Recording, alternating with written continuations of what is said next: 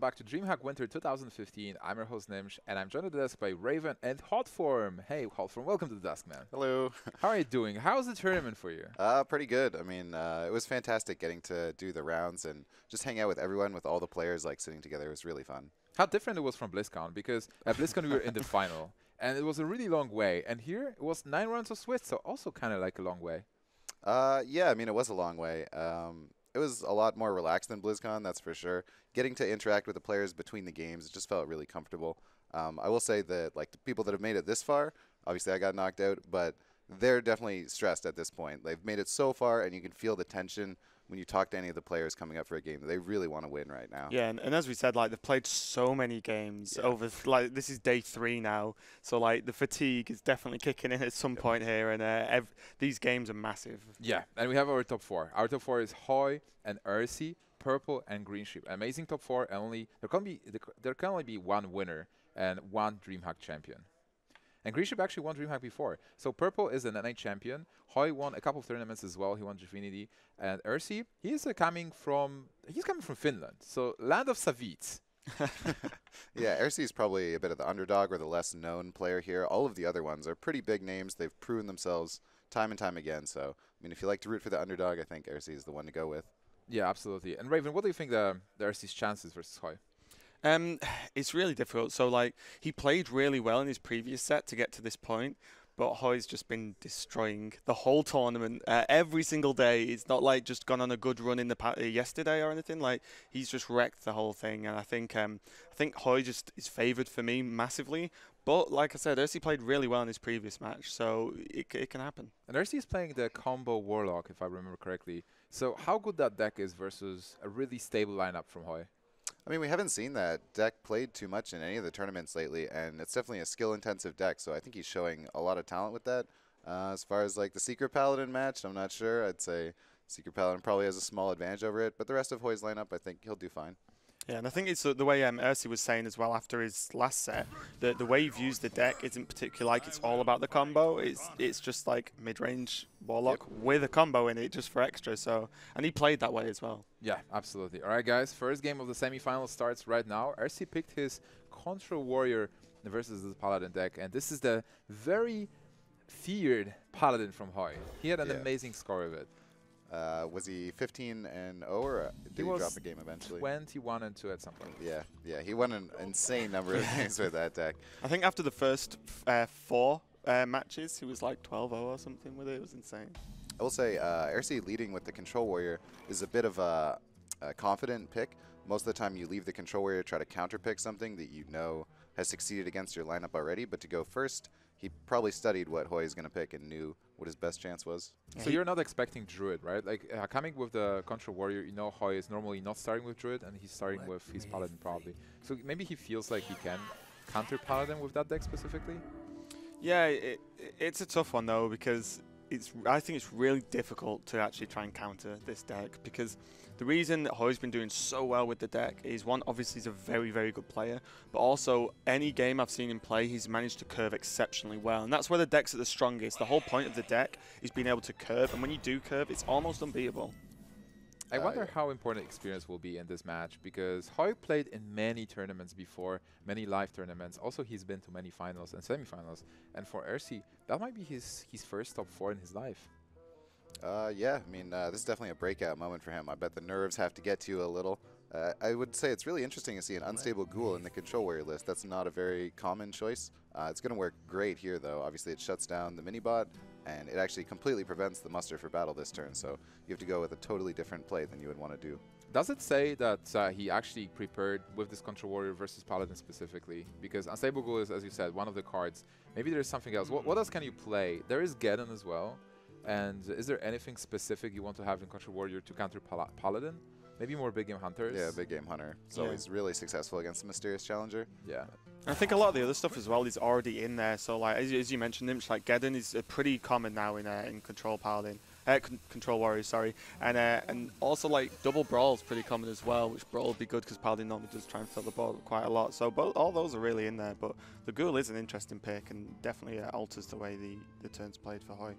I think Control Warrior is normally a reasonable match against Secret Paladin, but when you can mess up their opening curve like this, I Yep. mean, you can see the frustration here where uh, it's not a standard thing to come up against, and when you make those opening turns different, it really ripples throughout the rest of the game. So we'll see that effect for a couple turns to come. Alright, so he decides to attack with the unstable ghoul instead of using uh, removal cards in his hand. He can coin the Deathbite if he wants to. He also had an opportunity to just armor up and use the shield slam before. Yeah, I think coining Deathbite's important here because he has two, and uh, the effect's really powerful uh, against Paladin, of course. That's why the Warrior, you know, can work really well. But uh, you definitely do need to just, if you've got two in hand, you kind of just want to get get them used. I, I kind of like Hand from Ersee overall. Deathbite is always good versus aggro decks to stop the early aggression. He also has the shield block and double shield slam, so a lot of removal. Ysera is inconsequential for now. Um, later might not be that great as well, but he has the removal he needs. What about Hoej's hand? What do you guys think? Um, I mean, the opening curve was good, but again, it got kind of wonked out. Uh, if he's looking for a mysterious challenger draw on six, I think he'd be in great shape.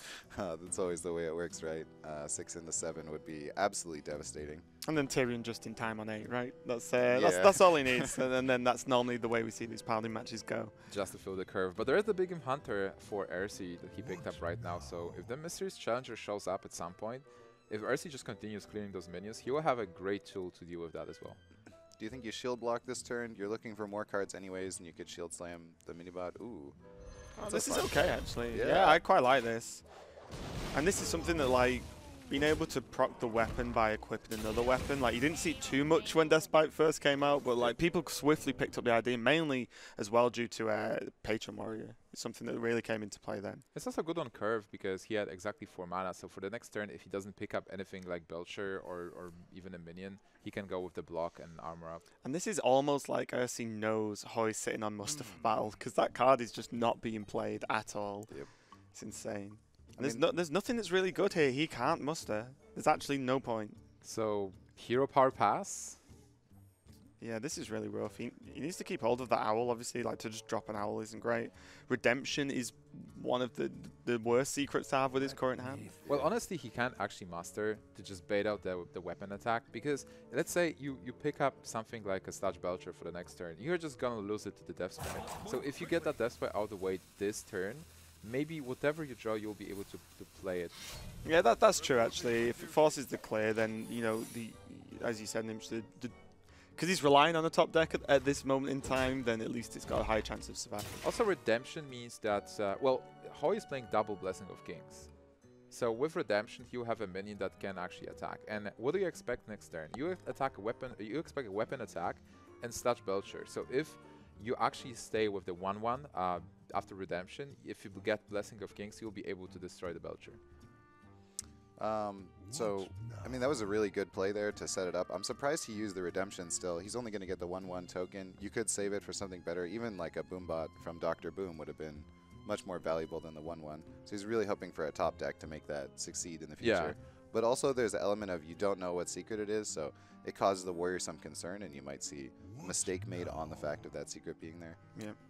Although he's, I mean, so what secret would he actually try and play around by not attacking? That's the only thing. I think like attacking is going to happen regardless. Well, if, if he wants to clear the one ones. Yeah, like all the secrets are actually good beside Avenge, I guess, because Redemption is fine with you. If you get Noble Sacrifice, that's fine as well. You kill everything. If you get it, if that's Competitive Spirit, you absolutely want to clear everything. If that's Avenge, no, it uh, also no secret. Th- there's no secret you want to play around, right? Yeah, I think the, the attack was always going to happen there. So I do agree. Like the, the redemption was a bit. It, it depends. Like he's, he is because he is relying on the top deck. It's like well, even the one one is a bit better if you top deck into Mysterious Challenger because you have multiple targets for the uh, Avenge. Well, didn't quite curve out perfectly here with the cog hammer. I mean, it's okay. It fills the gap, and it is frustrating for the warrior to attack into. But you're really relying on Boom to carry the team, and without that getting neutralized by a number of different things in hand, it could be a pretty uphill battle. Yeah, and, and the Coghammer as well. It's it, it- you're right. It is really annoying, and he's seen that he's, he's used two Deathbites, so there's two two gone already. So that even the weapon to you know like easily just throw something into it is uh, isn't probably not going to happen that soon. Yeah, it looks really good for Ersee for now. And normally, Paladin versus Warrior is actually favoring Paladin because Warrior cannot clear all the all the minions all the time.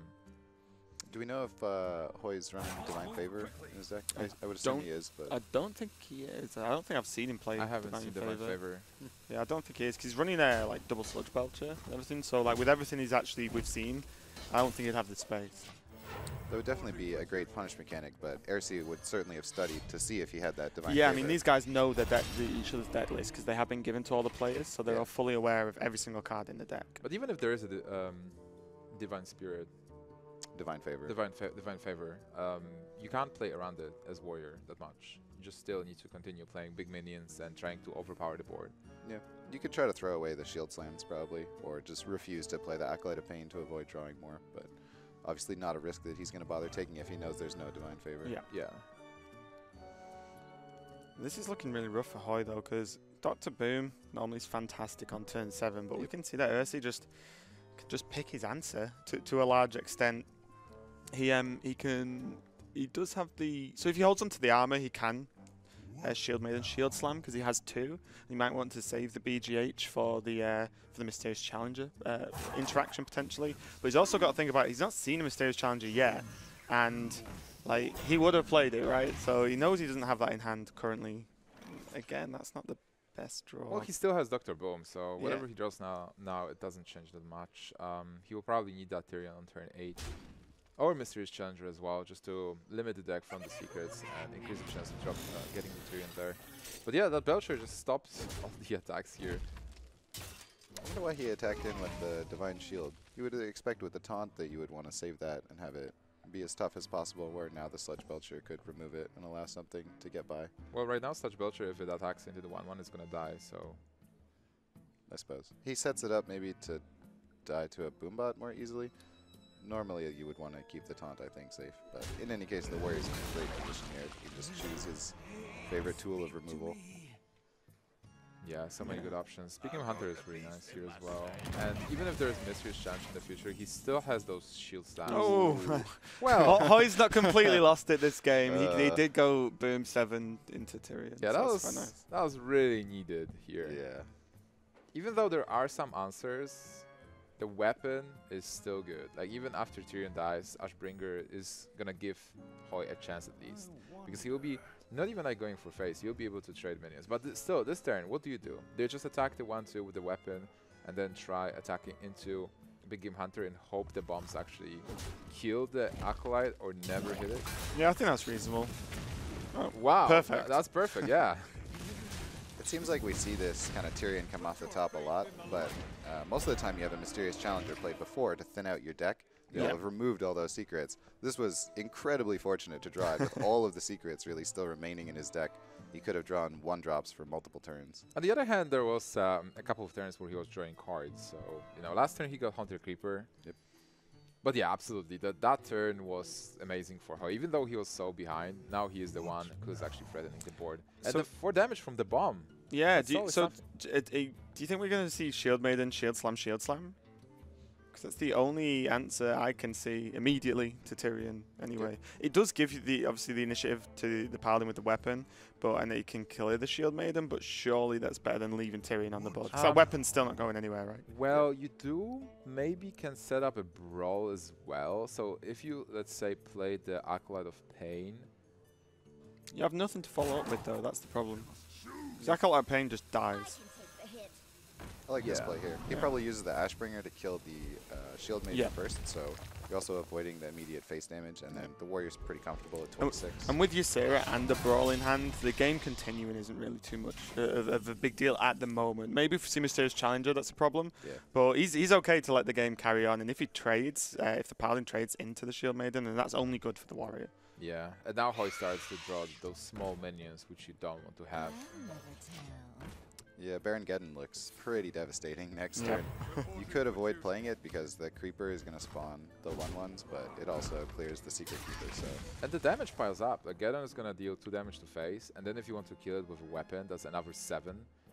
So dropping down to eight suddenly. He and can, and now he can War Axe. He can just kill the Creeper and Yeah. play Geddon. Yeah. And then it's like, so you just use your Ashbringer on the 5-5. Now you're probably going to use it on the 7-5, and it's just ending the game for him. This is really strong. Like That War Axe is massive. this is so much damage. And Hoej has just a single Ironbeak Owl.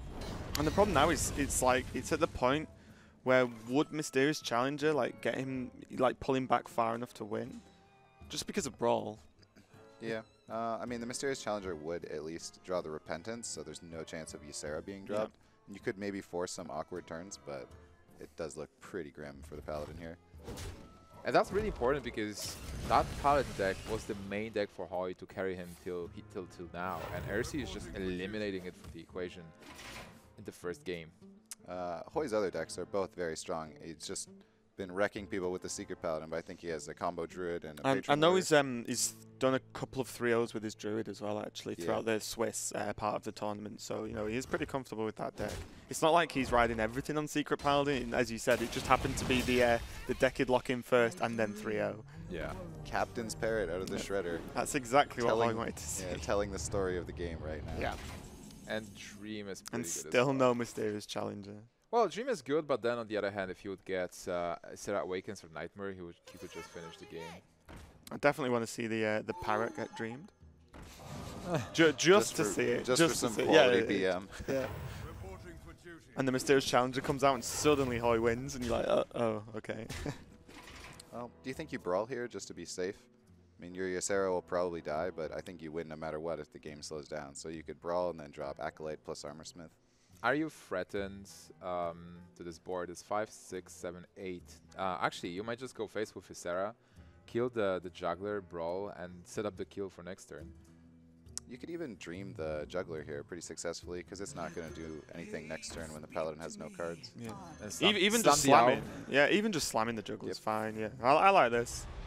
Because what's the answer? Like Yeah. the brawl, like if Ysera dies and ends up with a one-one or you know whatever, fine, and you can kill it off, so empties the board. But this is just like look at your board compared to mine. Yeah, well, at this point, he just recognizes the fact that he can be aggressive and just finish the game. He doesn't have to care about the board. And that's it. Hoej uh, gives up here. So Fist pump from Ersee there, just just a mini one. Uh, probably really glad to not get 3 0'd by Hoej. Yeah, Uh, a lot of yeah. players at this event have done so. I would be terrified coming against that paladin from Hoej. Yeah, and definitely. Absolutely, hearing that score. so what do you guys think? Druid is uh, the safe pick versus Warrior. Druid was really good versus Warrior before, and it seems that, that that's the deck to take. And because Patron is actually bad versus Control, I think. Yeah, it is. Uh, especially, I imagine Ersee is running two brawls. Most control warriors playing two brawls, Yeah. and you just shut down the patrons so hard that there's not a lot of chance to Oh, win. Hoej, Hoej has Control Warrior. Right? Oh yeah. Yeah, Ho- Hoej's the, the one of Yeah, Navi with right, Control right. Warrior. Wow. That's so yeah, the, hard. the um, Oskaka and uh, 6 have got Patron, but Hoej's actually got Control. So um, obviously he pits the Druid into the, into the Warrior, which is the right pick, I guess. But looking at the other two classes for Ersee, like Hoej's not still not in a terrible position, I don't think. Especially if you can take this favored game with the Druid. Uh, yeah, the control warrior definitely does well against the combo warlock because of its ability to get above health. Yep. And the thing is, the Warlock has a lot of smaller removal, and as Warrior, you just don't really care. I imagine as the Warrior, the idea is to just, uh, like in uh, some other matchups, you just get True Heart and just armor up past the point of any sort of combo damage. I will Yeah. say, uh, in terms of the Swiss rounds, we saw a lot of control warriors in the Swiss rounds, like a large Yeah. number, but very few made it through. So it's nice to see that someone made it through, and it shows that you know you can use that in your lineup and have it as a tactical pick and still get really far with it. Absolutely. I think the Control Warrior is a really hard deck to play overall, to play Yeah. correctly, because, well, you can, sometimes you have easy turns where you just play Deathbite and you play um, Justicar on 6, but uh, sometimes it's incorrect, and the small percentage of players knows exactly how to play. And so, like for example, Stanislav Cifka when he oh, plays Warrior, Control Warrior, it's really amazing to watch his decisions. Sometimes you don't know exactly what he's doing, but then it gets clear after Yeah, four it, turns. it's a, a lot of people don't like the the mirror as well because it's you know boring or anything. But I actually really enjoy it because like every single card is, that's played is super important because you both have similar resources. That Oh, yeah. fire works though. Really important to get to get the aspirant. Yep, just a straight up answer stops anything too crazy happening from the Druid. There is a second aspirant, but again, probably not going to drop that, seeing that the War Axe is still there for the second charge. This is a bit of a tough turn, actually. Hotform, do you like the um, the hand from Hoej? I mean, it was, it was a good hand until he had the War Axe, right? It was a great hand, actually. How, with double how many Aspire. players have thought that? This this hand looks really good. Oh, the Warrior's got War Axe. Okay. Uh, having the Ancient of Lore is really important. That means that uh, the Warrior doesn't really put on much pressure, and later on, you need to be able to draw cards. So Yeah. Sometimes you could even consider keeping it in your opening hand if you have some other ramp tools available. Yeah. Imagine innovate next turn from Hoej. Imagine if he draws innovate. That Yeah. actually is huge. Yeah, but then like looking at Hoej's hand, so you can play Aspirant this turn just to get rid of the weapon because Aspirant is gonna die. Uh, next turn you might be able to coin the Druid of the Claw, but then you don't have anything on five unless you actually play um, Keeper. So I like Shapeshift as well because just throwing away Aspirant might not be the best, especially if you plan something uh, on the next turn. How good is Keeper in the matchup? Like, what do you normally silence versus uh, Control Warrior? Um, you can silence the Acolyte of Pain, which is really effective. Running Yeah. the Control Warrior out of cards is a great way to win. And on Uh, the flip side, you could silence Sludge Belch if you're setting up for a sort of combo to just push through for the damage. uh, a 'Cause lot That's of- always awkward. A lot of the time you can do a combo with Wrath as well, where you deal 2 damage and then Wrath for 3. Both of those cards are not amazing in this match, but with 5 damage you can kill Shield Maidens and Yeah. pretty effective. All right. And there's another five drop which is really good for for Hoej. Uh, the Druid of the Claw is gonna do some work. He has the follow up and he has the turn six, turn seven as well. So it's all, all right for now. But uh, for Ersee, he actually has Slam as well. Yeah, if he just use slams, see what he draws, and then follows up after that, he can just throw everything in to kill the Druid of the Claw. And like you said, there's no, there's uh, oh there is a follow up. Sorry, now because he, he drew into the uh, Azure Drake to play on turn five, so that was pretty nice for Hoej. Yeah. Uh, that was actually a really important turn where, as a druid, you have the two choices of the five drops. If you played the Azure Drake there, it looked like he might have to trade the Armor Smith and his weapon, whereas the Druid of the Claw was vulnerable to Shield Slam, and because it doesn't draw a card, it's well worth the trade of a Shield Slam for it. Uh, but he took the gamble, and there was no Shield Slam, so it worked out. Yeah, absolutely. And he sacrificed our as well.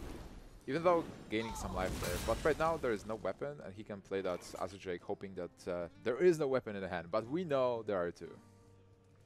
I think uh, Shade Aspirant was really reasonable there as well. I mean, the Azure Drake is fine, but you would get the extra mana so you could play Ancient of Lore next turn if it survived. Yeah, I kind of like that as well because also it's multiple targets, right? Because uh, you know, I mean, we we have the privilege of just seeing what Ersee has in hand, but you kind of have to expect like more weapons from Warrior, right? Or some form of removal. Whereas having to use two forms of removal because the Armor Smith's probably not going to kill a minion, you'd imagine, without the help of like say Taskmaster or something. Then uh, it just gives multi targets for the Warrior, as you said, it prioritizes the um to deal with the aspirant because of the ma- mana curve. I've been talking to Far about, about this matchup a bit, and he said that uh, against Slambash Warrior, at some at some specific turns, you want to play a couple of minions exactly because let's say you want to block the Shield Maiden from being played. Like you don't want to play just one minion on four because you know he's gonna play the weapon and kill it. So sometimes even better to just pass and shapeshift, go face, so that you can play two smaller minions on the key turn. Yeah, I agree. It's definitely uh, often a tactical battle of the card advantage, right? So if you're throwing minions away uh, and you're not making them be inefficient about it, then you can end up at a deficit. Yeah. This looks really nice for two shades. Um, I wouldn't imagine Sylvanas comes down. It would only force the Armor Smith to die. Yeah, and it's not it's not a big enough win. uh, Like you were saying with the efficiency, like just forcing the armor smith to kill itself isn't really isn't really a big enough win for you, that you want from Sylvanas against Warrior. So he makes the turn that you suggested last. Yeah. Last turn and floats the mana.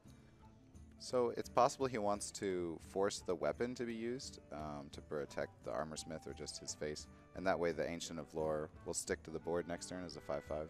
Yeah. Can you ignore this minion?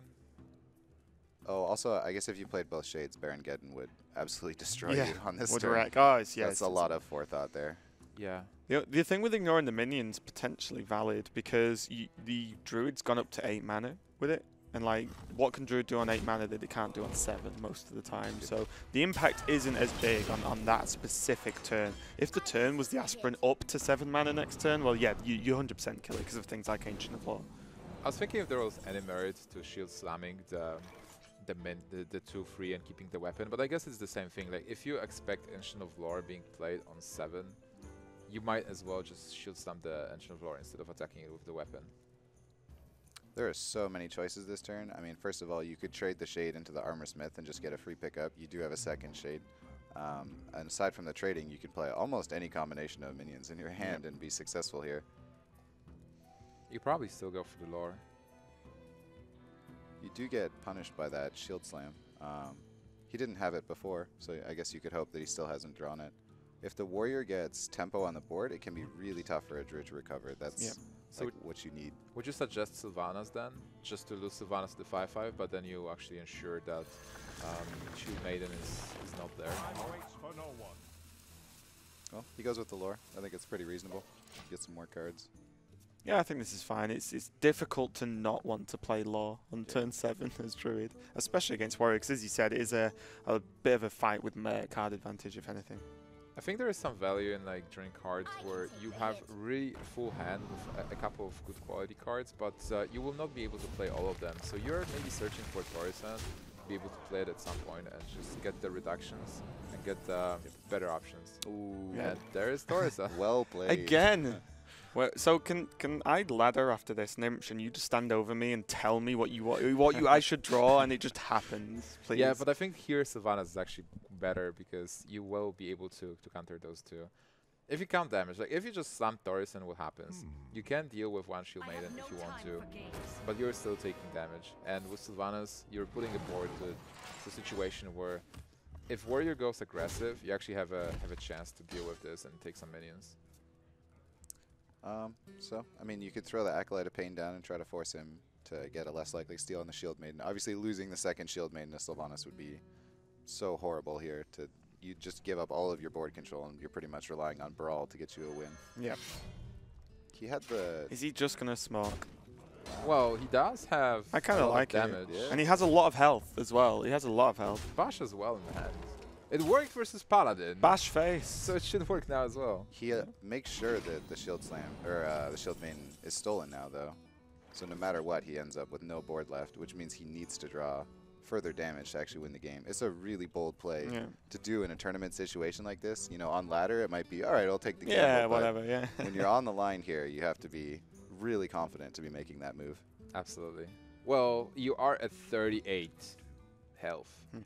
But but you're right. I think uh, something as well is that it's a surprising move from Mercy because he's definitely the less experienced player of the two here, and a lot of the time, as a generalization, of course, the lesser experienced players normally play a lot safer because they, Yeah. they don't want to lose. They're like Yep. they, it's Yeah. like it's not that they're actually playing the game to go aggressive or just go for the actual uh, the uh, win with the odds in your favor sort of thing. It's just you just don't want to lose. I prefer. Whereas he's actually gone really aggressive, and I, I, I like it. Personally. yeah, that's a very valid point, but uh, I do like the high risk, high reward, and Hoej is actually one of the players that is really high risk, high reward. Yeah. Definitely.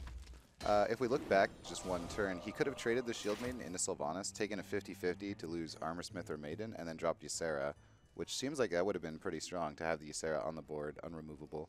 Well, he can drop Ysera now as well. If he gets something like Ysera Awakens, oh, it's probably much better, yeah. But then Ysera can provide him with Ysera Awakens, right, at some point, and that's a lot of damage as well. And Druid cannot. Oh, that was every turn. nice. Yeah. That was really nice because he could have killed anything that survived with Bash as well, but to not have to use it and just save it again, it's just about getting the most out of all of your cards. So that keeper's been safe since the beginning of the game, finally finds a target, and now that the Warrior is really struggling on cards at this point. Yeah, that's true. But then, yeah, there is a Ysera that's gonna provide you with a card. When you get Grommash, Grommash is 4 damage. Don't even need an activator. Ooh, That might be it. Um, Oh, double, yeah, double Savage Roar for two mana as well. Yeah, if he drops Ysera, there's no way he's going to survive the next turn, because there'll be at least three creatures on the board. So we might see us actually get punished for the aggressive stance early on. Like you said, there was another option. It wasn't like, right, I am now all in. It was a, it was definitely a choice. You've just seen Brawl as well, actually. So although the most controllers uh, run two Brawl, uh, he has three cards in hand, right? And he's just used one Brawl, so you can't really play around it. And when um, Hoej's now sort of turned up the heat and decided to go for How it, much damage? go for the is- board. How much damage is there? Um, enough. So 22 plus 12, so it's 34 Oh, plus if he six, bashes and plays, uh, bash the Azure Drake, trade the Acolyte, play the Sludge Belcher, he'll definitely survive. yeah. But you can see he's thinking about Ysera. He's thinking about taking that gamble that it's not really a winning play Well, to drop the Sludge Belcher. There's Yeah. 43 points of damage I counted. yeah, Okay. this is. Uh, That's why when I looked at it and he said, "So how much damage is it?" All, all I had was enough. He got- he, he got he the did- awakens as well. oh, Oh, and there's innovate. Is there anything extra he can do with innovate? Just, be- Well, just he- hero power to 44, yeah. okay. I was thinking like, where? What's the most BM way to get some more damage here? just in case. Uh, that's all she wrote. I mean, Yep. you have to feel a little tilted maybe after you took that risk and it didn't pay off. Yeah. Hopefully he doesn't let that affect him in the next games. Yeah, I mean, I did like the aggressive play, but one of the, the things he maybe had to think about a little bit more was that if he had a follow up in hand, like uh, even like a Despite or something, you know, something. But at the, that time, he just had Bash, and it was just like, oh, that's definitely not going to be enough. was there an opening for that Ysera before when when the when he brawled actually when there were three minions on board? M- If you if you actually Ysera and it gets Ysera awakens, you have eight damage at least. I mean, I don't think so. He had just played Emperor, so he could have still had double combo, and Because there was it's like three five 15 power. Three yeah, 15 damage yeah, just yeah, on yeah. board. Okay. But as you said earlier, he could have done the turn earlier with the Sylvanas turn. He could have done that, traded away instead of going aggro, and just drop Ysera on, like you an empty board, and it would have been a, a lot harder to deal with. And even if it ate a silence, it's still four damage a turn. You know, Yeah. it's still a big minion that the druid just can't really deal with. Yeah, absolutely. But it was a good matchup for Hoej to begin with. Druid Yeah. is very Yeah. distant versus Warrior. And uh, right now, Ersee picked his Paladin, which means that it's a good matchup for him. And we've also fortunately dodged the Control Warrior versus Control Warrior mirror, so we won't have to be here for two hours. Yeah. well, that's the the best matchup, right? Everybody hated Hunter on Hunter, so now Warrior on Warrior is what people wanted to see. Yeah. Once. yeah, yeah, yeah. I think that I think that's the difference. Like I like Warrior Mirror, but not like five Warrior Mirrors. Yeah. Like that's when you're like, okay, th- enough. Those wild growths. Uh, Hoej's been drawing really awesome for his curve in the opening. Double Aspirant last game, double wild growth this game. It's Hoej. It's what he does. he has that magical ability to draw and an amazing opening hand. Well, this is how you get to the finals of the tournament, right? Yep. you need wild growth for yeah, your you druid. do. you do druid things. That's how you do it. All right. So wild growth is gonna be there. He also has um, good cards. He has the Shredder and um, Druid of the Claw. He will be able to cast the second Wild Growth if he really wants to. There's Shoot a Bot though, so really nice curve for now. There's Tempo BGH. I think you might actually go for that. Yeah, you might. Especially if there's a Wild Growth, right? Yeah, four power on the board. The druid only has um, Doctor Boom, which can also be answered by Peacekeeper. But then on turn 5, you might actually expect Dr. Boom from Hoej. Innervate Dr. Boom. And Imagine that. so you drop Tempo BGH and you get met by, by Boom. That would be Yeah, weird. that would be very punishing. Yeah. This is a big decision here, actually, if you want to play that or not. would, so, so would you do it? Honestly, Well, we can see here it looks great, right? I'm not sure if I would do it in the yeah. moment. In in obviously Ersee's position in this match, would you have played the the uh, big game? Uh, if he has two Peacekeepers, yeah. Yeah. Really good play that he did it. That's reasonable, and mostly you do not expect Innervate Boom, you expect Druid of a Claw, and Yeah. you have a great counter to that on 5, because you do have the True Silver as a follow-up, and then Loatheb, and then you just need to pick up something on 6, but overall your curve, your, your curve is great. Yeah, and the thing here as well is it's not like does Hoej have another worthwhile choice than Druid of the Claw? Yeah, I mean s- Swipe doesn't really do anything. Shredder is still a problem, like still not a good enough uh, versus the Druid of the Claw, so it's going to get answered. But I think it's Hoej's only option. The only benefit is that maybe um he can force of nature next turn to, to clear what's left I if if needed. From Hoej's position, he doesn't know there's a True Silver. The Shredder might look a little better. It would force the trade with the BGH, and then you could get a minion with 3 HP, which would be a lot more valuable. The Druid of the Claw is going to get killed by BGH plus Minibot no matter what on the current board, so would only trade at worst the same way the Shredder would. So he might actually go for the Shredder seeing this board. And he does. Yeah, that's a good explanation, and it makes a lot of sense. So it, that even like disregarding True Silver, but then True Silver is obviously there. Oh, there's an Ironbeak, so now we have a, you have a I think- choice. Yeah, I think you probably use the True Silver anyway, right? Yeah. Because if you owl it, it's still it, it's the awkward trade that Hoej actually wanted. He just didn't get the bones out of it. Also, he's got a very successful curve now. He went one, two, three, four, and he's got Loatheb for a 5. So you know that punishing the Druid in those opening turns like that is the way to get ahead. And especially having that 4 power on the board from the BGH, he's putting the Druid on a clock. Yeah. Like, it's a very rushed game now. Also with True Silver, not only you deal with the Shredder, but you do have True Silver on a turn where you are gonna slam Loatheb. So this this is Yeah. huge, and this is one of the most successful Tempo Big Game Hunters that I've seen. Yeah, Yeah. but it's, it's forcing a force of nature to be used to clear this. Oh, hell, Not not, even- even not clear. even yeah, no, sorry, not even clear. Just Zombie just to, to clear like the real threats, because Zombie Chow's gonna heal for five, right, when it dies, if it dies. Well, now Ersee is trying to pick up cards to play on turn 6. He has that shielded mini-bot, so maybe if he picks another 4-drop, if he has something like a Shredder, that would be pretty good. But yeah, Loatheb this turn, obviously, sealing the spells. Ooh, that was nice. Yeah. Uh, You think you would probably still go for the Shredder in the Shade because How much damage is there, though? uh, 11. 11. Yeah. 5 damage? Pretty hard to deal as a paladin. Yeah. Wow. This works out pretty well, I suppose. So Loatheb can't trade in. He's going to get some HP back, and then if it takes Loatheb plus True Silver, that's a very good trade for the Druid of the Claw. You can still silence it, though. And go, go face. Yeah, it's definitely the, the probably the safest place for, uh, play from Hoej. Sorry, and I was just gonna say before, like, what's he gonna draw for turn six? A Belcher's gonna be really nice because it's just again just slows the game down. Did you just Belcher pass? That's so awkward, like on mana. You you do want to play Dr. Boom on 7, so what's the best board state when you slam Boom on, Boom on 7? I Yeah, think Belcher's fine. I, I actually would like the sounds better here because the um, you can go face, and the Druid of the Claw will probably trade into your creature to prevent damage. Then the Boombots will be able to pick up the Druid of the Claw. Yeah. and with Silence you can still shield that mini bot and hero power as well, so you fill up uh, fill up the mana. Yeah. well. I just I just thought like with the silence, like you can go face, but because it's healed from the zombie chow, it's Yeah. like and Paladin's not gonna throw out some burst out of nowhere, right?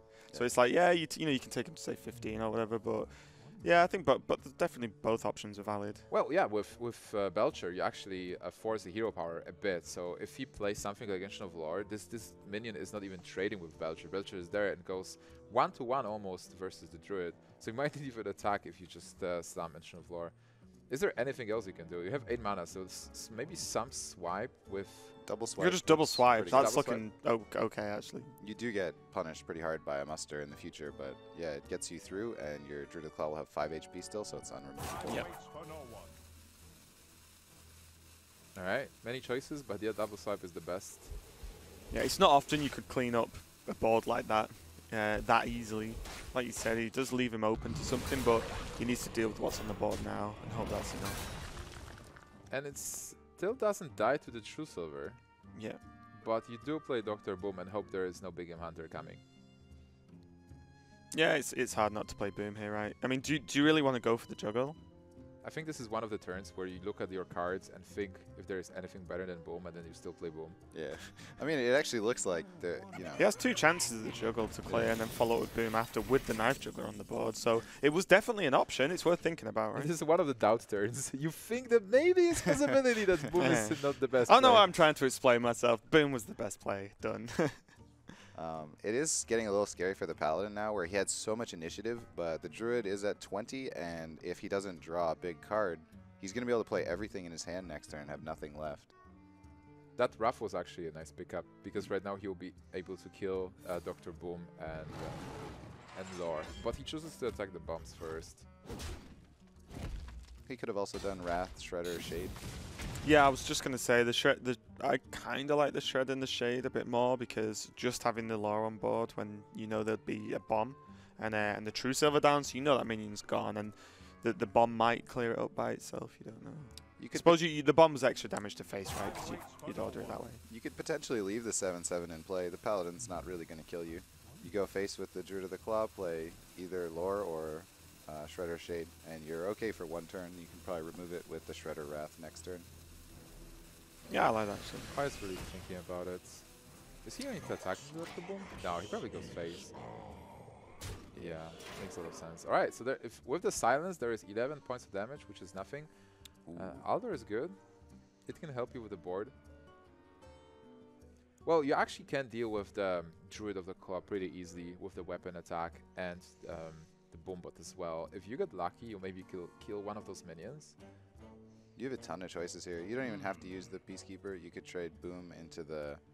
Dru I guess you could Peacekeeper the Druid of the Claw. Trade Boom into Druid, silence Shredder, attack into Shredder. He's left with just a Shade. You get to save your Boom Boombot. Yeah. With the shade down though, I, how how much do you value your health here? Because do you want to outdoor the one you actually attack in with the weapon? Uh, I'm not sure. That's a good question. Just because the shade's down, like uh, you know, he, Hoej may just have combo. yeah. So So then suddenly, like the extra, just that little bit of damage might be just That's enough. actually 19, right? So if he took four but healed for two, he takes two. Yeah, you So that- probably can't leave two minions on board. So that's the problem. Like normally you could actually go face instead of lethal. If you also think that there is no possibility of a combo, you can you cannot kill everything. Oh. Imagine if he had to consecrate this turn. he could have consecrated all three, hit in, Yeah. boom into face, and then boom bot into shredder. Ah, the shade gets Wow. killed with the knife. So there's one part of the combo. Uh, actually, if there would be combo here, how much damage would that be? Be Plus 20. 20. So one off. Yeah, so the, he had to Aldor onto the uh, onto the weapon target, Yeah. and not not really. I mean, it looked it worked out. He didn't hit boom with anything anyway, so the boom's health was fine. But you couldn't value the boom's health higher than your own at this point. That really came down to the rope there, where he needed to see the shade die before he could decide whether to attack face with boom or not, because he would only have the one Yeah. HP, and then yeah. All right. So how do you not die here? Because this board is quite scary. You can heal and then trade into the juggler. What? Oh, Okay. actually, you could wrath the juggler and go face even. Yeah, I think uh, yeah, yeah. Because the problem is if you if you like breath, I mean, it depends on what. It, uh, is he gonna heal? No, he's gonna draw. Wow. So he has to wrath boom and trade. The innervate doesn't change. Yeah, and, and hope for like hope for not consecrate basically.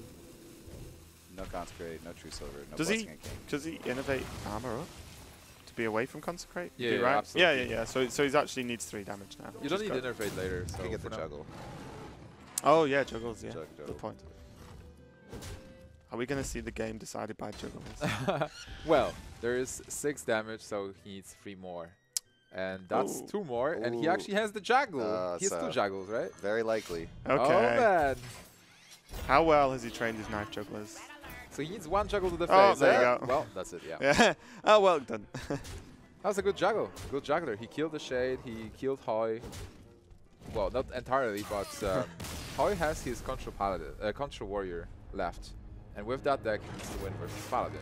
which is hard. yeah, I was just gonna say that's actually really rough for Hoej. That that, that was the matchup he needed to just get the paladin out of the way, and then Yeah. he, then his warrior versus warlock. Worst case scenario is actually pretty okay. I have to say that was really well played by Ersee. I mean, the tempo BGH into the perfect curve. Yeah. Like he was comfortable in that match. He knew exactly what he needed to be going for on the board uh, for an unknown player. Like he's playing fantastic. Yeah, really good decisions, and um, like he didn't even have the perfect hand. He had some good start, but then Big Game Hunter, if he would keep Big Game Hunter in hand, then he misses turn three, just has a one-one. Then he didn't really have the turn six as well. He he had to make some decisions there. So yeah, really well played, and uh, he didn't win yet, but he's in a great position to actually win versus Hoej because this matchup favors favors Ersee a lot. Uh, I'd say it's probably 65% to the paladin, something like that. The paladin hero power just slowly chips away at the warrior Yeah. because the warrior's not really attacking you, and then you just cure power, cure power. Eventually, a quartermaster can add some burst. We didn't see True Heart out versus paladin deck so not far. yet, I not don't. yet. Yeah, I, don't- I can't remember because I cast OC earlier. I can't remember whether we saw it then either. I don't think we did. We didn't see that many uh, mid-range paladin cards actually. We've seen uh, Aldor, which is also being playing secret sometimes. Well, we know he's not playing secret because this defender of Argus is actually telling us, yeah. And then, Hands and then Lay on Hands is almost a certainty. yeah, absolutely. Um, Justicar is sometimes played in mid-range paladin, but I know a lot of players don't favor it because it can be a pretty awkward card to play out. The paladin wants to be hitting that opening curve, and when you're playing a 6-3 for 6 mana, it's a really weak turn until you know turn 10 when that hero power is actually rewarding you. Yeah, it's also it's also a card which actually improves the matchups that are already good.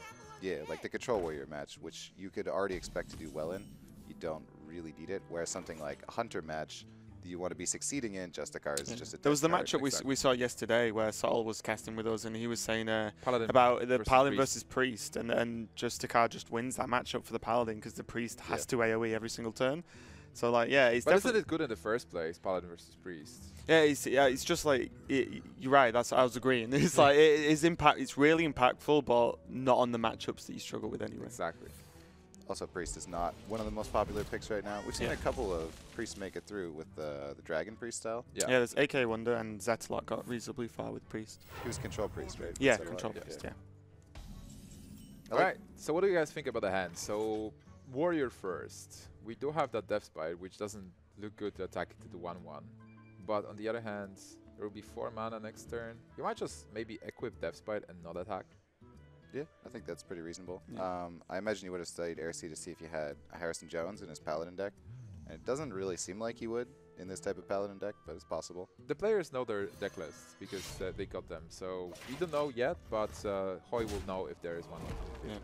The interesting thing as well is it, Harrison Jones really it's strange to play against someone that you you know has it in their deck because it's such a powerful card, but also it's not like you can really play around it too much Yeah. because it's not like okay, I'm never going to play True Silver in this match, or I'm not going to play Tirion because he might just kill the Ashbringer.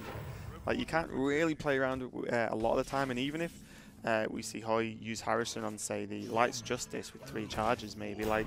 Yeah, it's not as like it doesn't look immediately as impactful because the weapon's not as big, but drawing three cards is pretty huge. We can see that Ersee must have used up all of his good curve cards last game because he's hero powered every time right now. Oh man, this looks terrible. Like Hoej is just building up those minions. Like, even Justicar Trueheart might be a bit troublesome because it's a 6-3 minion, and if you can't deal with it, um, Consecration doesn't kill it, and if it's the Belcher protecting it, it's a 6 damage to the face. That Harrison Jones looks pretty juicy too. Yeah, I was just gonna say like now it's just an instant Harrison Jones because there's no. Hmm. I'm just thinking with the sludge. Do you think you can afford to just slam True Heart now and let hopefully the weapon just tank the sl uh, the sludge tank the weapon? Yeah. I think that's pretty reasonable actually. You don't need to snap play Harrison because Paladin has a lot of targets.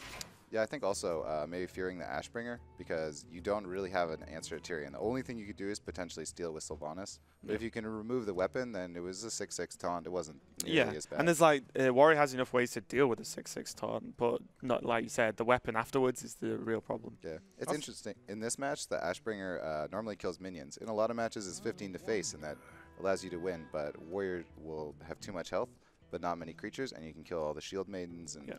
fatter creatures.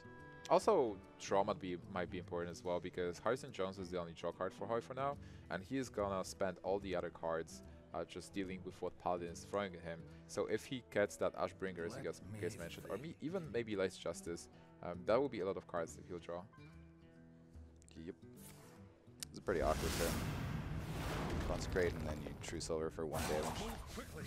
Feels pretty bad. And take four effectively with the heal, of course.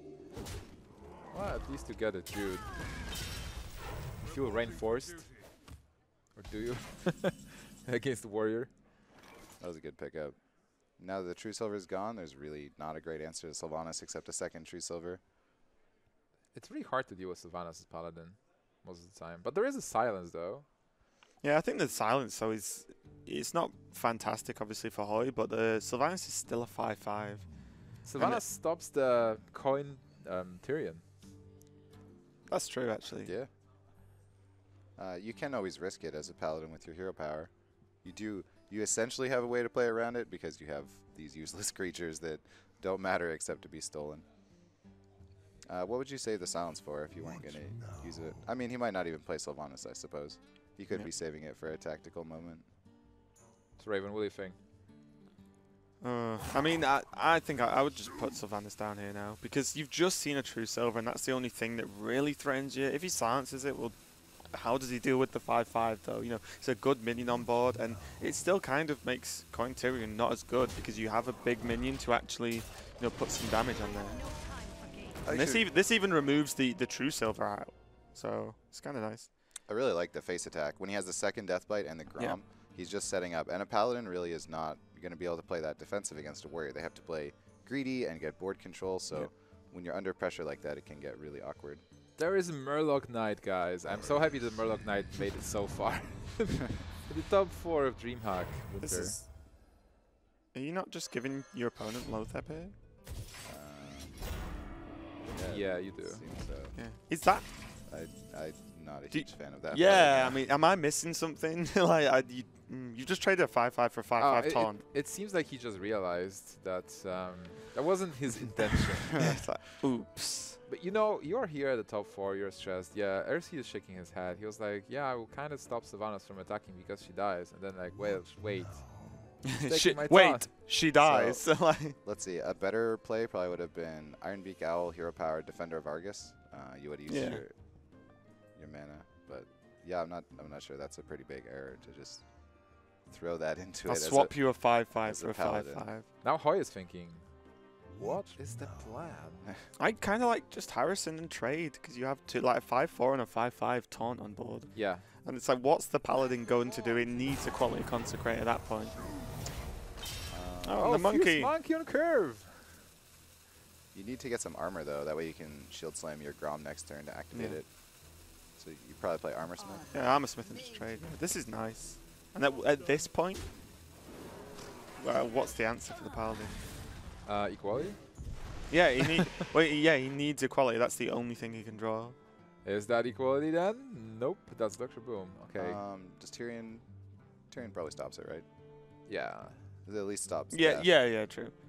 Well, looking on board when you slam Tirion, everything should die. Un unless there is some removal in, in hand.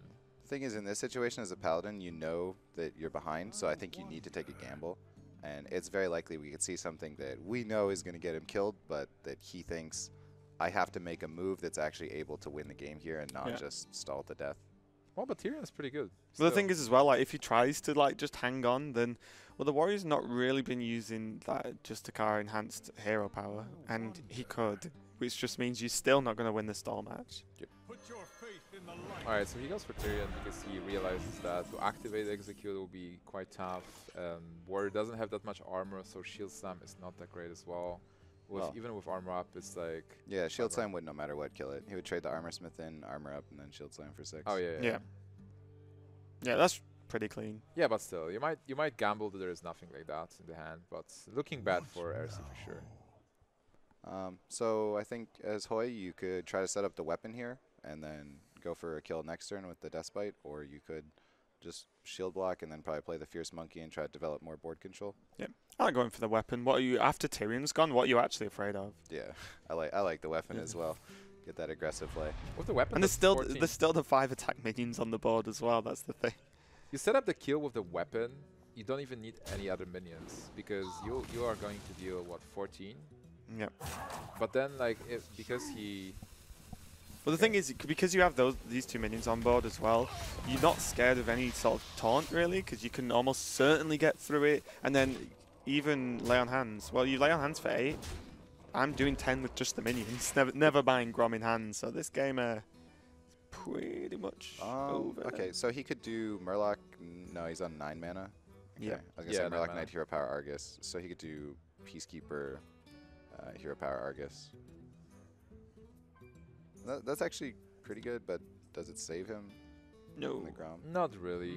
Uh, you, yeah, There is a weapon as well. So yeah, it's, it's quite Yeah. tough. he's dead.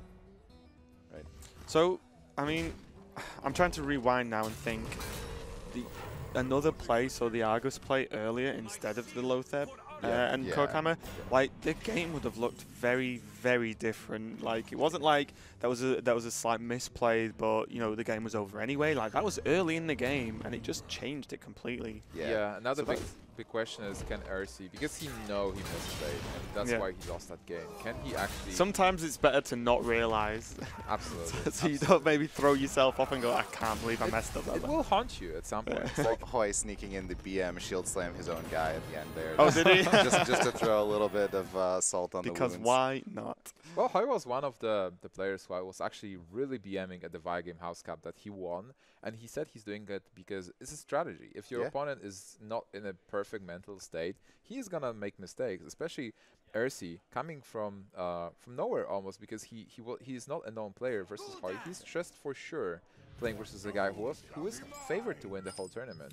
Yeah, and, and the thing people have to think about as well, like people who don't like the whole like emotes, like yeah, there's a certain limit to maybe how much you should do it for for your viewer uh, experience, but for the player versus player, you can just squelch someone if, if you don't like it. You know what I mean? So Absolutely, you the other player can choose to not see it whatsoever. So it's not like you know it's it's unfair to the other player. In traditional anything. card games, there is so much BM you can do, which is much more much more offensive. Like taking cards, for example, because sometimes uh, you're playing versus your opponent and you want to see what card he just played, and people hate it because, well, you just collect. You, it's your collection. You don't want anyone to touch them, Yeah. and the player is just taking your cards from your board and trying to read them, and he does it multiple times to like piss you off. So or shuffling extremely loudly and things yeah, like that. yeah, exactly, exactly. Or like asking you how many cards you have in hand, so many times. And then you play one card. How many now? Yeah, exactly, like- exactly. so there's a lot of ways to, to BM and annoy your opponent. In Hearthstone, it's it's really mild, let's say.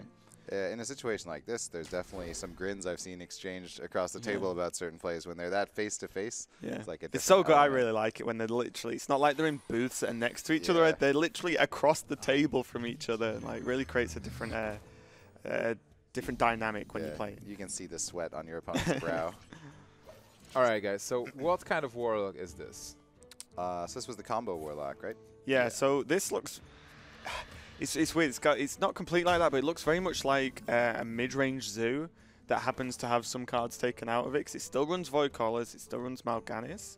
It Uh, has did we- heal bots as well. I yeah, I think it has Jaraxxus, so it's like a really like it's a amalgamation of like Handlock and Zoo halfway in between, but then it has the faceless Yeah. uh, Arcane Golem double um, double power overwhelming, and as we saw, Peddler's a pretty good card. yeah. Uh, Yeah, when it, you're like, oh, I play the power overwhelming. yeah. Do you think I've got two more because I have Peddler? It's like So this deck has a couple of strategies. Obviously, combo is one. So the ideal scenario is when you get Arcane and double power overwhelming, faceless, and you just go with to face with everything. And you maybe finish with a. s I don't know if he's playing Soulfire, but you might have it for extra burst. he doesn't need to Peddler. Yeah, he has he has Peddler exactly, and with Peddler you might even get this the third power overwhelming, and then after Thaurissan it's even discounted, so you can play everything.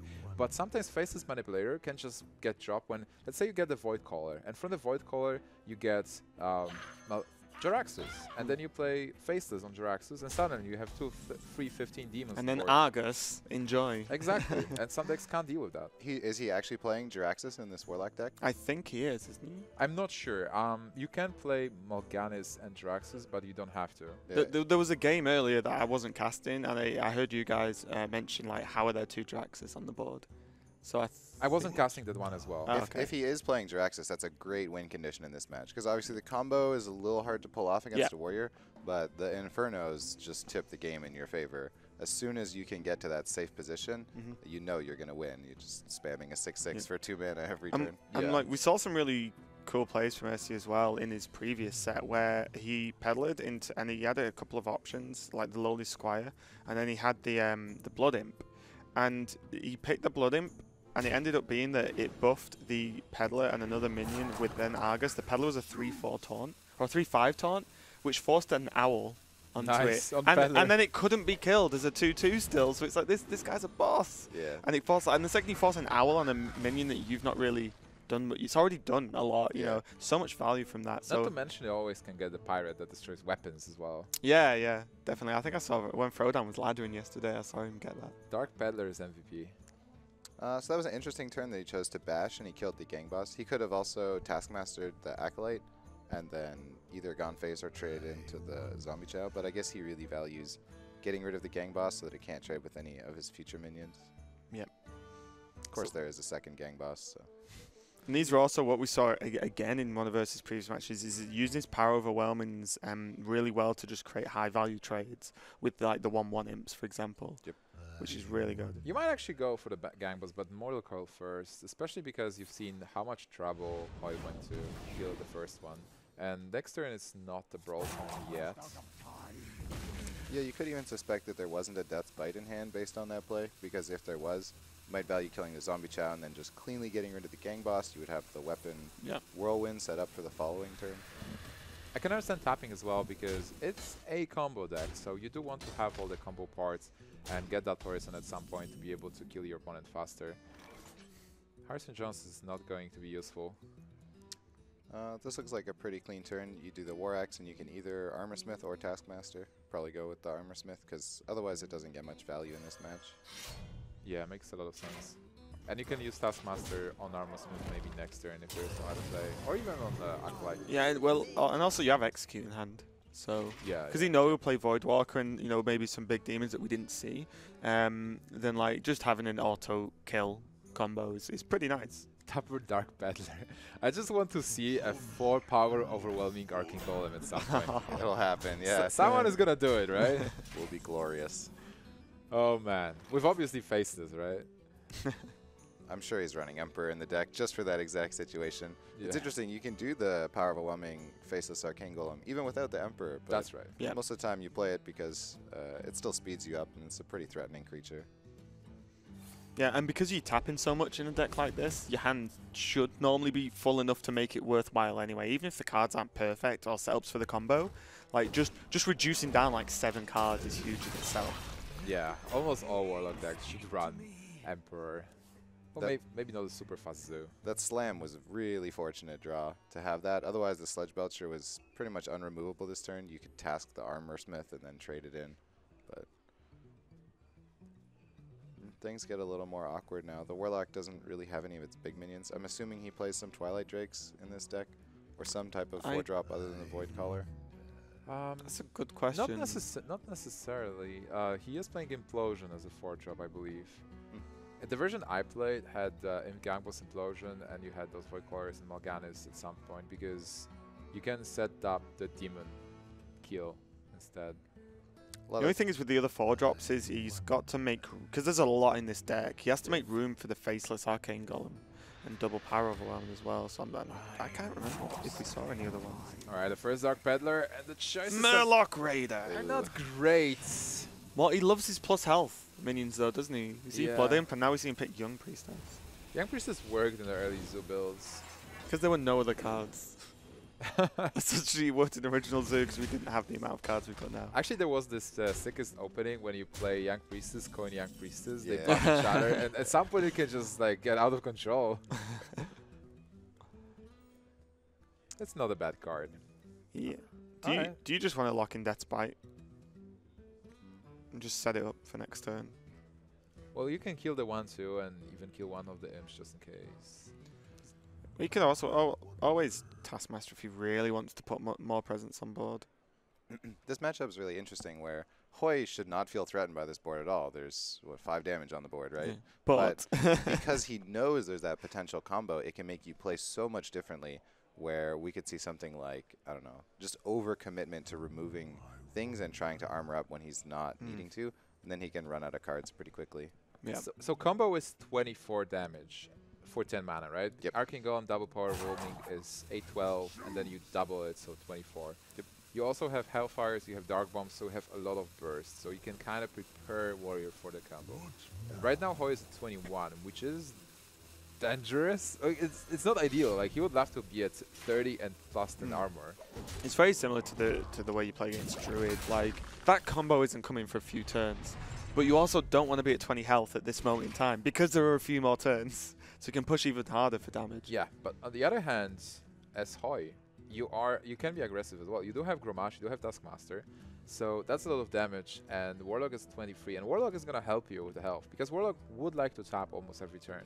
So at some point, maybe you will have this opportunity where you can just go face and win.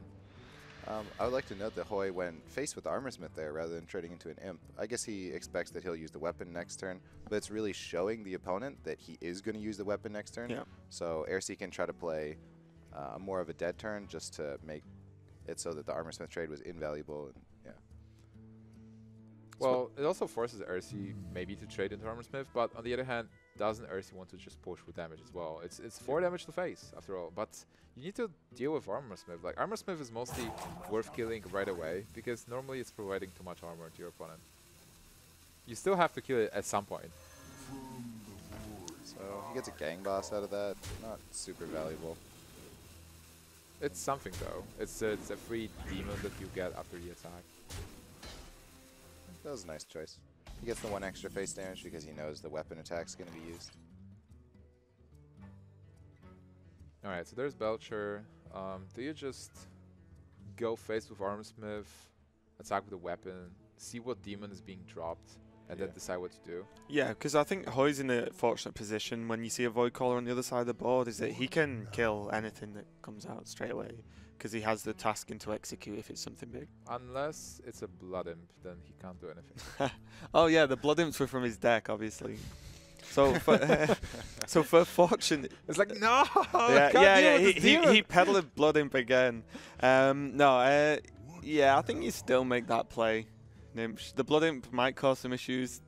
Fifteen turns down the line. Um, but yeah, I think it's still You pretty have okay. so much power, but can't deal with that one small. But but he has the answer to to a Blood Imp actually. So if it buffs another minion, he just has another execute. I wonder what he's thinking about here. I mean, you need to see what demon comes out of that. And Okay, so I guess he's going to decide not to attack. That's really interesting. You have such a clean board clear there. You could make sure that the Warlock has nothing in play. I suppose though, uh, it- it's a tough one, but I think because we've seen, or we know that Hoej knows all of the demons in Ersee's deck, and he's seen like the imp gang bosses so far. Yeah. That like I didn't see a uh, a Doom Guard, for example, in the last set at all. So there's not maybe too much other than Mal'Ganis that has an immediate impact on the board. Yep. So maybe it's like normally you want to do it on your turn to negate sort of the charge effect of some of the minions, but maybe it's just like well you can you can trade because he looks like he might just want to do Grom next. I turn. think I think Doomguard. Uh, I'm sure Doomguard was in the original list because Doomguard is one of the uh, cards that you also can uh, faceless. Some decks, if you get Void Caller, attack into something, kill it, get a Doomguard, then play Yeah. faceless from hand, have double Doomguard. That's so much damage, and this deck is about board control. Um, Demonwraths are there as well. Ooh, another power overwhelming. Yeah, that's pretty tasty actually, especially because you do have the faceless. Uh, if we look back on that turn where he played Sludge Belcher, though, he's given a pretty nice trade where uh, the Dark Peddler will be able to be used effectively rather than getting removed by the weapon. So it is a, a little bit punishing, I think, that he didn't choose to attack there. Yeah. Whip the weapon into it, yeah. Is that that's Imp Gang Boss as the first card in Ersee's hand, right? Right. He has a Mal'Ganis now, too. Yeah. I was just I was I was looking at the board thinking trade, Hellfire to summon Mal'Ganis and Faceless, and then hope he doesn't have Brawl. It's such an interesting situation because this deck is not that popular. I think it's um, it's popular on NA ladder at some point. Ha have you faced it before? Hotform? combo Warlock? Yeah, yeah, yeah. Uh, it's definitely not popular on ladder. No, it's a it's a very tricky deck to play. You have so many cards in your hand each turn, and you're trying to put together this late game combo. It's not your standard ladder player. All right. I've seen it in top 10 though at some point. Um, so this deck is quite new and might, maybe Hoej doesn't have that much experience playing versus it. So you don't know exactly what to expect. Well, you do know which card are in the deck, but what are the best combinations there? And were you trying to say, Hotform, that standard ladder players play simple decks? Don't quote me on Oh, that. okay. what what sort of simple decks would these be by any chance? Uh, I do. I would say I really like the Discover mechanic in that it, we get these little extra elements where the Young Priestess buff the Imp, and it may seem really small, but those things where you have like a two health creature and it's not removed by the Deathbite attack, like that can make a big difference in the end. That something stuck And to the board. I also think Discover. It's I always en- enjoy cards that or, or decks that make you play cards that you don't normally play and you wouldn't really put in a deck, but aren't actually bad. They just don't specifically f- can find a mm. slot in a 30 card deck. yeah. And the Discover works like a lot of people maybe would argue better than say Unstable Portal because you have a choice of, of a s- you know totally. a, a more specific selection of cards, and then the choices can actually. A lot of people maybe thought that well, there's obviously just going to be one one choice that you pick every time, and then that's not really true. Depending on the point in the game, it gets very different. A really nice turn by Ersee. He cleared the board, got the minion, and he also tapped because he needs that Arcane Golem. If he picks up Arcane Golem right now, he'll have enough mana to have the full combo, which is 24 points of damage.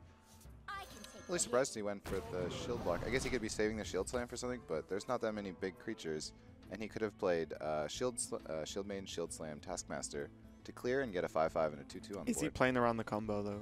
There is a Drake that Because that pushed him mentioned. i- f- uh, enough health past the combo. True. That, yeah, that's true actually. As he hits turn 10, and he's seen the Warlock tap a million times at this rate. So Yes, actually, if there will be a combo, he'll be one off. Yep. It's a really good math from Hoej.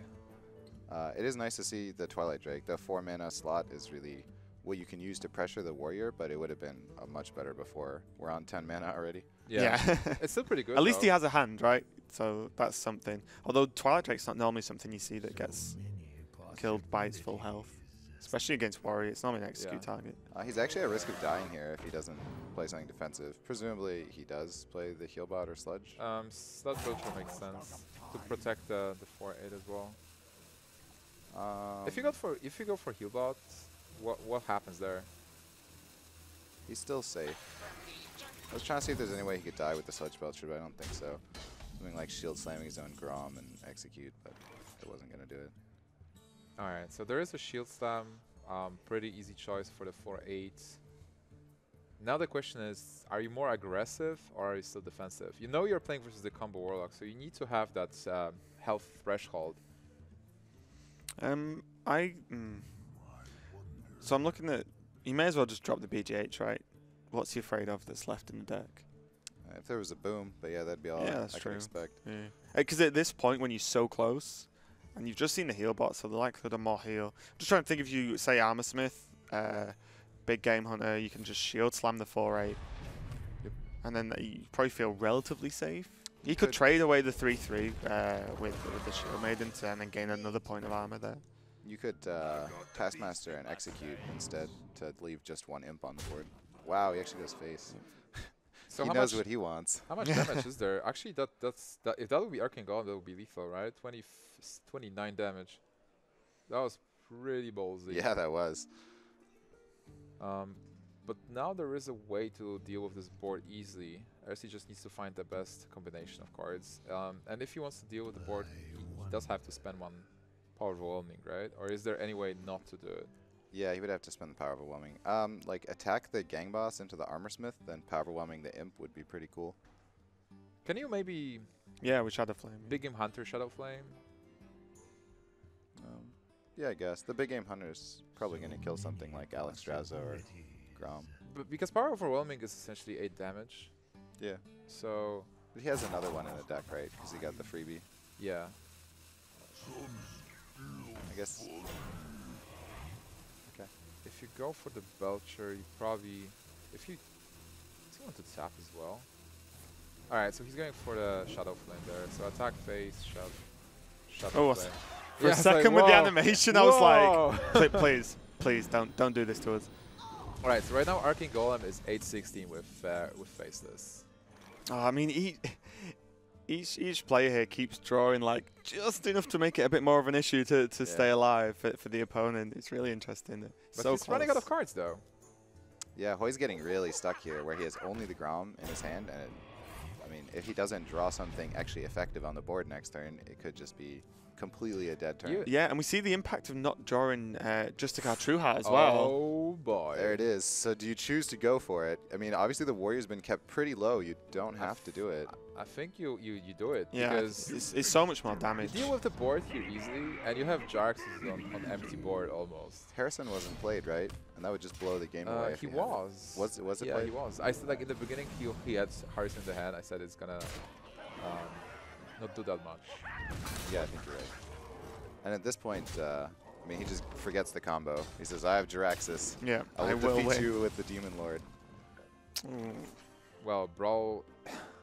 D- d- mm, I mean, the, the BGH in hand is ruthless here because there's a chance he could brawl and then hope the uh, the Belcher dies, kill the sludge with the Grom, and try and push through that way. But we know that there's a BGH in hand. And Suddenly it looks Say- saying so that- bad Yeah. for Hoej.